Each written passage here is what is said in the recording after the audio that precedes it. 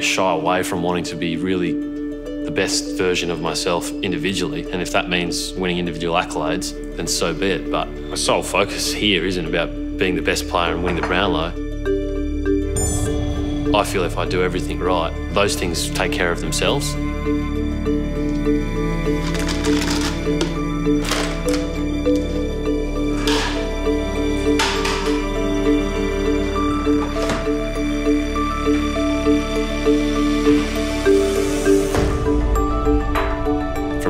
Through till about February, I've got to get a really high quality body of work where I'm not missing a hell of a lot of sessions so that I can help lead and implement our game plan.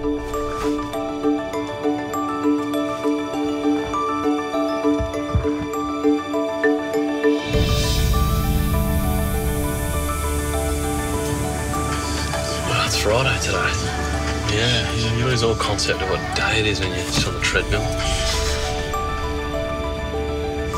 He's relentless. He's relentless in the search for perfection within himself um, and then perfection within the team.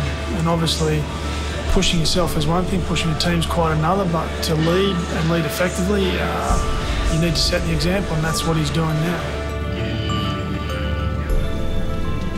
I'm almost 100% sure I've gone the wrong way. I think you have today. The main thing is to get him strong um, muscle wise, so his, his legs, get them strong enough to handle the intense running he's going to need to do. There are other elements of um, some physiology laid on top of it and psychology about what can he tolerate and all the rest of it, but the primary aim is to get strong. It's more of like a strength session than a endurance cardio session. It's pretty fucked either way though.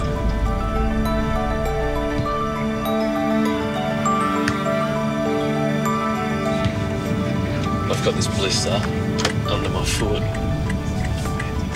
which is going to cause all sorts of drama.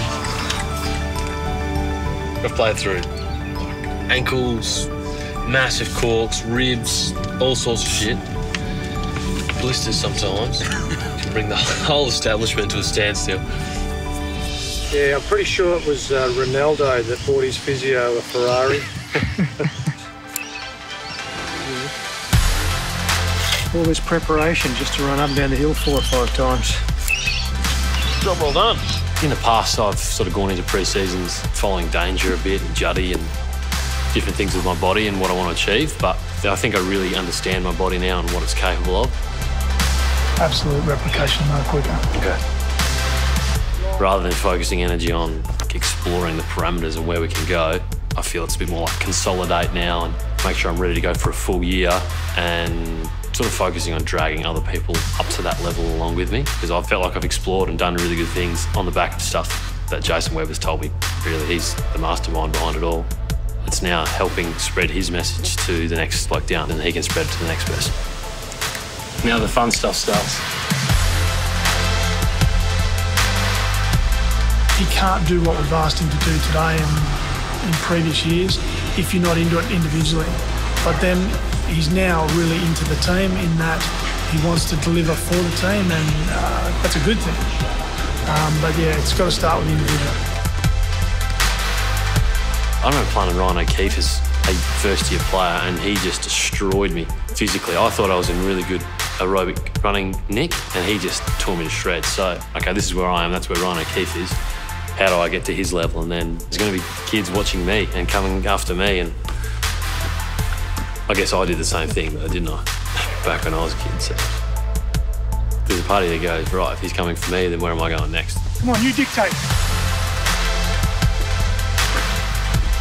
We worked really hard this morning fast and equally above what anyone else I would imagine in probably the group or the AFL is doing at the moment. There's one or two things I know he'd like to do, but uh, some more dynamic, explosive things, but it's just not working. He's, he's trained really hard, got everything he wanted, so there's no point overcooking it now.